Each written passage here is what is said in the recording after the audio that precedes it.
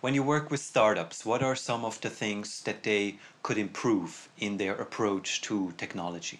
Well, we deal with startups, and the biggest challenge we have with uh, technology is users or developers put in technology that they think solves the problem. They don't put in technology that the customer thinks solves the problem.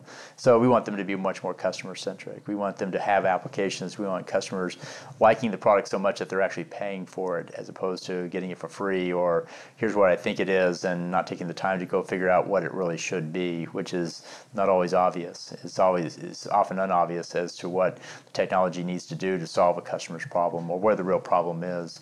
So we want people to be much more customer centric and user centric in their their implementation most developers are self-centric. You know, they just do what they think is the right way and what they see, and it comes out to be a lesser solution, of course. And then it's tough when you build something and you can't sell it. What happened? Well, you built what you wanted. You didn't build what they wanted. So our rule is sell it first, build it second.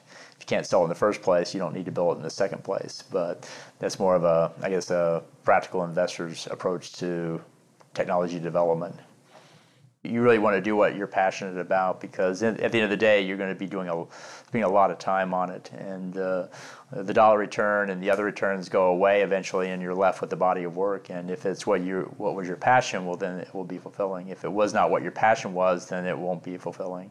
So certainly you have to do what what you find as your passionate fulfillment in order to be happy at the end of the process because it's a lot of work to go into anything you do